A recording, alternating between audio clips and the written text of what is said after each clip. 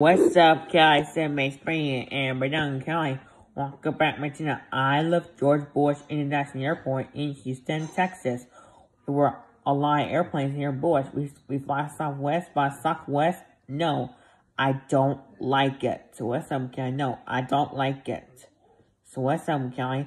No, I don't like it. So what's up, Kelley? I love George Bush International Airport of Houston, Texas. We can fly Spirit Poor Master. Maybe next time.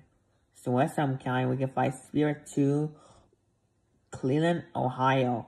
So West Elm County, thank you, mate, guy. Stay Spring and Redon County. I left George Bush International Airport in Houston, Texas, where all these airplanes here here in Bush. So West Elm County, thank you, mate, guy. Stay Spring and Redon County. Welcome back, Rachel, probably was some kind of by Gas Gas.